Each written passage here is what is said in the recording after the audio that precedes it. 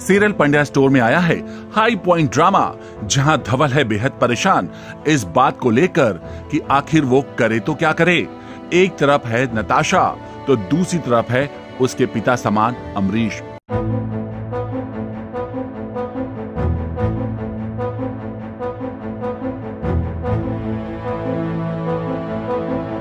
हाँ serial Pandya store में धवल Pandya store को लेकर करता है अमरीश से सवाल।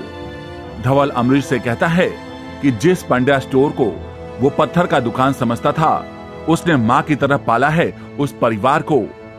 धवल कहता है कि नताशा के गुजरे हुए परिवार की आत्मा बसती है उसमें। और आज उसी पंड्या स्टोर को छीन कर आज आपने नताशा को एक बार फिर से अनाथ कर दिया है।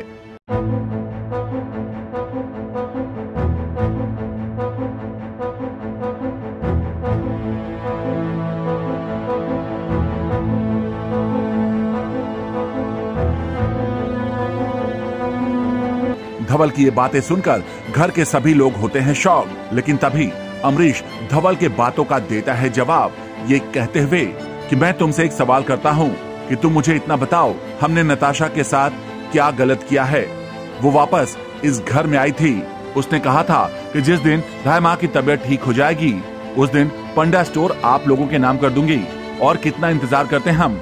एक एक दिन हम पर भारी पड़ रहा है। हमारे ऊपर कर्जा हो गया है।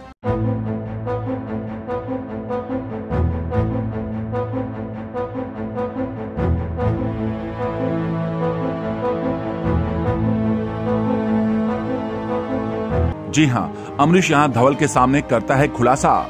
ये कहते हुए कि हाँ कर्जा है हमारे ऊपर, डेढ़ सौ करोड़ का कर्जा। अमरीश धवल को दिखाता है और कहता है कि देख रहा है तू, कितना लोन है। उतरेगा कैसे ये लोन? जिसके बाद अमरीश धवल से कहता है कि तू दिल से सोच रहा है। किसी को तो दिमाग से सोचना पड़ेगा। उन्हें बचाने के लिए हम अपने परिवार को सड़क पर नहीं ला सकते।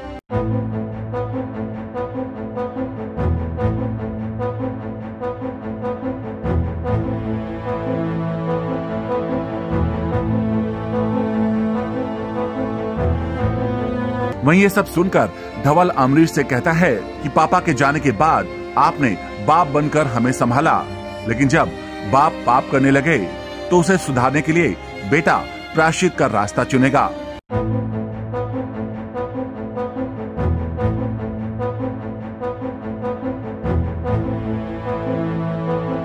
वेल well, यहाँ तो भले ही धवल ने कह दी है बड़ी बात। लेकिन अब उसके सामने है बड़ा चैलेंज कि आखिर एक तरफ़ नताशा है तो दूसरी तरफ़ पिता समान अमरीश।